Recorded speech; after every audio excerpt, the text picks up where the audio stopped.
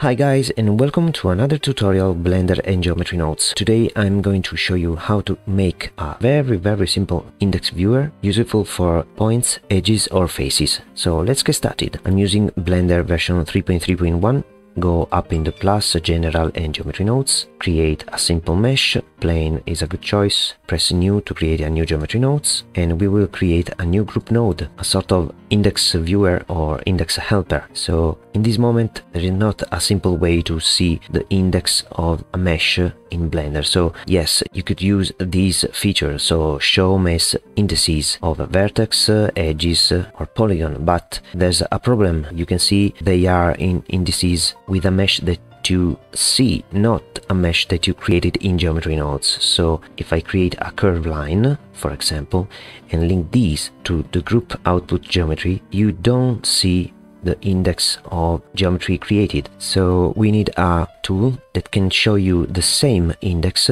on generated geometry. So I turn off these feature and to do this we want text so the concept is we want to convert a number to a mesh and move this text in the index of the point or edges or faces that we want. So first of all, we want to use a value to string here because we want to transform a string to curves. This converts a string in curves that we can manipulate or move. So I drop this curve line and link the geometry here to here. I want to use these two nodes with control G to have the group node. I want an initial geometry input, so I can go here, add with plus an attribute, a geometry, call it source then I want an integer value. I can set here integer from 0 because index can't go below 0 and now without decimals I can link here to the string link the source to the group output as the geometry geometry and the curve instances to the group output calling it viewer. So now I, I press tab to exit from these. I link this simple mesh here in the source and link the geometry in a join node with the viewer and link these to the output. And you can see 0 because we have a text of 0 if I increase these you can see the number that we want. And I want to see the index. I want where it is. So I go here. I call this index viewer. It's more tricky create the index of all these points and so I decided to show you a simple version of an index viewer. I know it's not perfect but uh, I think it's an initial point. So entering this group node now we want to move these on the position of the index we indicate in this value input. I can easily set the position of these curve instances. I can transfer the attribute of the vector of an indexed point or edge or faces so we will create three of these layout to choose what entity we want. So to do this I will use a new integer attribute. So we can call it point edge faces. The default is 1 from 1 to 3 so 1 is point 2 is edges and 3 is faces. And I can use a group input here. And where this in a switch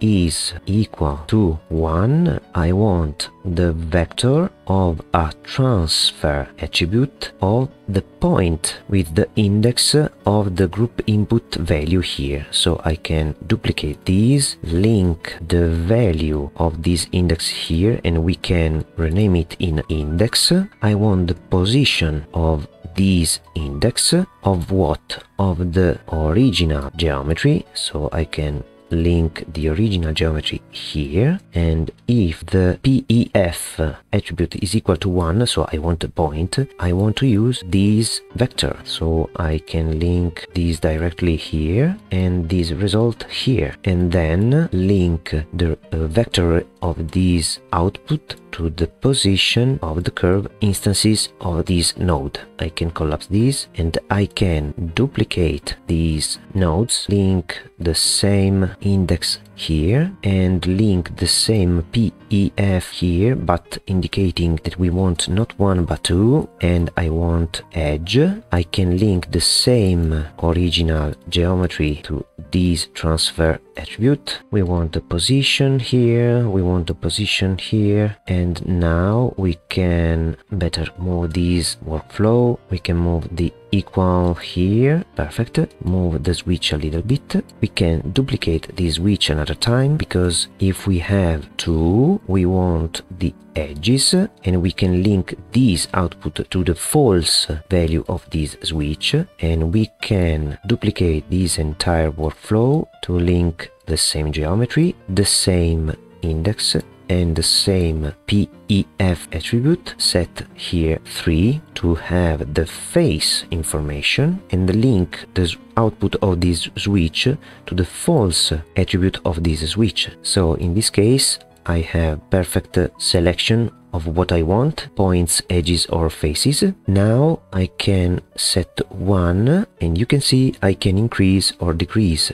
the value from 0 to the maximum points. So I can increase uh, a lot this number but the last position is the maximum index of the mesh. So if I set 2 I have this point as the origin point of this 0 1 2 3 and so on. Now I want to rotate the index along the camera view axis. So to do this, I need a boolean attribute that we can call follow camera and an object that is our camera. We can select this our camera here and we can use this follow camera and camera to rotate this string to curves. So first of all with shift z i can see the solid and i also want a solid for the for the text. So i need to fill the curves with an angle and then i want to transform these and rotate by the axis of the camera or a custom rotation if I want. So I can add here a vector attribute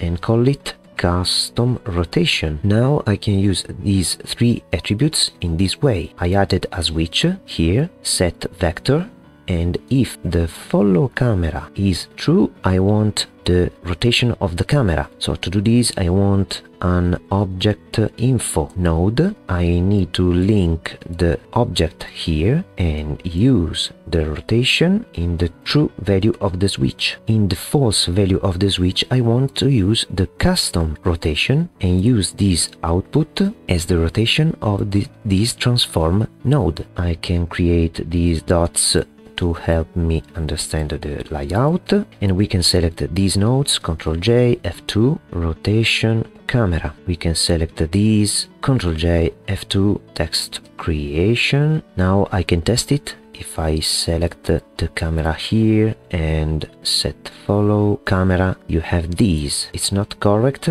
because we are not using the camera viewer but the, viewport itself. So I need to go to the camera viewer with N in the view attributes make sure to have uh, this check camera to view to let you move in the viewport with the camera otherwise if you uncheck these and you move your view, you lost the link from the point of view and the camera. And the camera will still at the same position that it has. So go in the camera view and you turn on the camera to view. And now if I move, the text will follow the camera viewer. If you don't want to follow the camera, you can use a custom rotation. And now if I enter in the group node, you see that if I have a subdivided mesh, so if I press tab to enter in edit mode, 2 to go to edge selection, A to select all the edges, right button subdivide, right button subdivide, tab to exit from the edit mode. You can see these,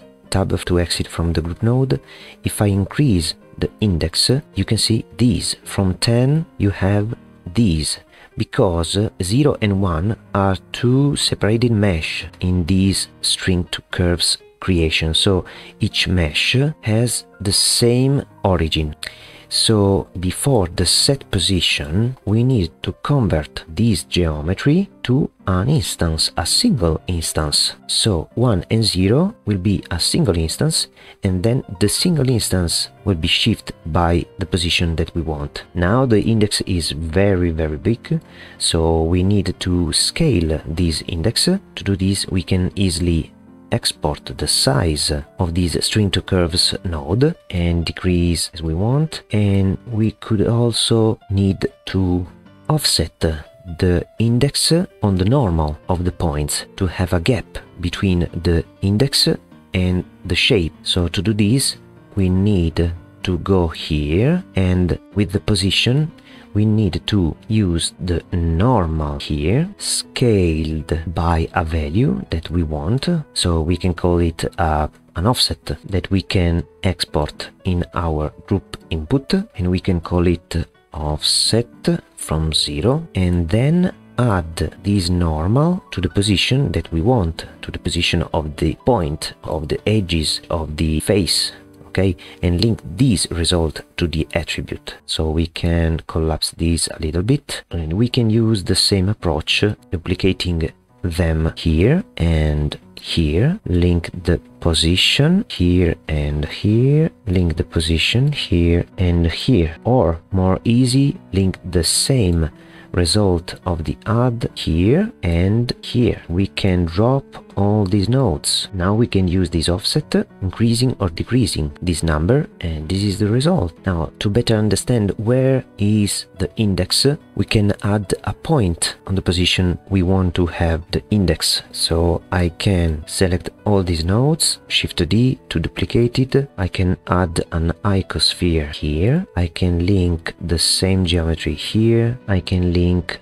the same index and PEF here, but in this time I don't want to use this information but only the position of my points or edges or faces. The same approach with the switch node. And I want to transform this icosphere in the position of the result of this layout. And I want to export in the group input the scale of this transform. And we can call it points scale from 0 so we can set it Uh, as a float number or you can use the radius uh, as you want, the radius, the scale, whatever you want. Control H to hide the attribute that we are not using. Then link this to a join geometry, link the result of the points here and the result in the viewer attribute. And we can also use a switch node if we don't want to have the point scale. So if I want the point scale, there is the point here, but I can add an attribute, move up,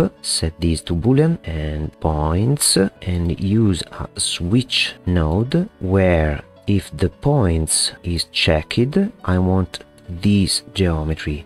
Otherwise no geometry. So I have to link this to the join geometry here and drop this link. And this is the final result. We can add a set material here and a set material here if you want to have different material red red and a white material here. Select white material here turn on the material preview and this is the result. With the visualization of the index I can increase these and see points the index of, of the edges or the index of the faces. And this is the group input. So I remember that if you want to use this group input in a new file you have to create a new general file and then use the menu link or append, select the blend file that contains the index viewer, select the subfolder node tree and select the index viewer. Make sure to have the camera and check the camera to view in the viewer attributes. Thank you guys for watching this tutorial. I hope you like it. If you want to leave a comment or check a like, I will appreciate it. You can download this project from my Gumroad page or create this uh, group node from scratch. If you like what I'm doing, please subscribe to my channel and check the bell icon to get a notification about new posted videos and see you to the next tutorial of Blender and Geometry Nodes. Bye!